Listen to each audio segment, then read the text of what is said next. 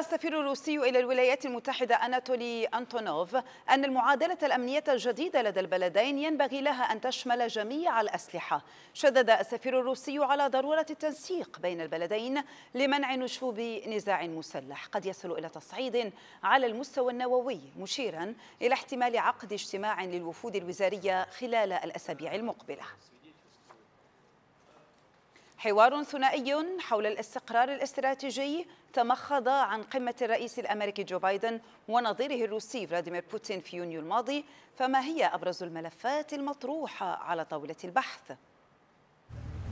بقيادة نائبي وزيري الخارجية لدى موسكو وواشنطن ستنطلق أولى جولة الحوار الثنائي حول الاستقرار الاستراتيجي خلال الأسابيع المقبلة وفق تصريحات روسية رسمية على أن يكون التعامل في المجال السبراني إحدى الأولويات صياغة معادلة أمن جديدة مطلب روسي آخر لطرحه في الحوار على أن تأخذ بعين الاعتبار جميع العوامل المهمة لتشمل الأسلحة كافة الهجومية والدفاعية القادرة على حل مهام استراتيجية سواء أنووية أو غير نووية منها. سفير روسيا إلى الولايات المتحدة كشف أن الحوار سيستهدف دفاع صاروخي وضمان القابلية للتنبؤ وضبط النفس في مجال الصواريخ في ظل وقف العمل بمعاهدة الصواريخ المتوسطة والقصيرة المدى. إلى ذلك. سيتطرق الحوار أيضا إلى منع سباق التسلح في الفضاء وفي التكنولوجيات العسكرية المزعزعة للاستقرار والتعامل مع الأزمات التي من شأنها أن تؤدي إلى تصعيد نووي أكد المبعوث الرئاسي الأمريكي الخاص للمناخ جون كيري وجود مقترحات مناخية بناءة لدى الولايات المتحدة وروسيا.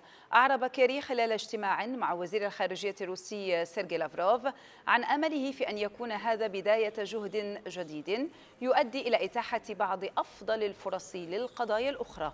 كيري شدد على الحاجة إلى تحرك الولايات المتحدة باعتبارها ثاني أكبر مصدر لانبعاثات غازات الاحتباس الحراري في العالم. وفي أول إشارة إيجابية لتهدئة محتملة للتوتر بين البلدين اتفقت الولايات المتحدة وروسيا على صياغة تعاون وثيق بشأن تغير المناخ. تغير المناخ أحد المجالات القليلة التي يوجد فيها أمل في تعزيز التعاون بين موسكو وواشنطن. وفق فاينانشال تايمز التي قالت إن هذا الملف ينظر إليه على أنه ميدان اختبار واعد لخطوة أولى في تحسين العلاقات الأوسع والتي يمزقها انعدام الثقة بسبب الحرب الإلكترونية ومزاعم التدخل في الانتخابات الأمريكية وسنوات من العقوبات المتبادلة التي قطعت العديد من العلاقات الاقتصادية. الصحيفة لفتت إلى أن بايدن جعل مكافحة تغير المناخ محور محورا أساسيا في رئاسته وجادل بأن الحاجة للعمل مع موسكو بشأن هذه القضية تفوق المخاوف الأخرى بشأن التعاون مع خصم لدود فاينانشال تايمز سلطت الضوء على تصريحات كيري في محادثاته مع وزير الخارجية الروسي في موسكو التي أكد فيها على وجود مساحة للبلدين للتعاون فيما وصف سيرجي لافروف زيارة كيري بالعلامة الإيجابية المهمة لرفع التوتر بين البلدين.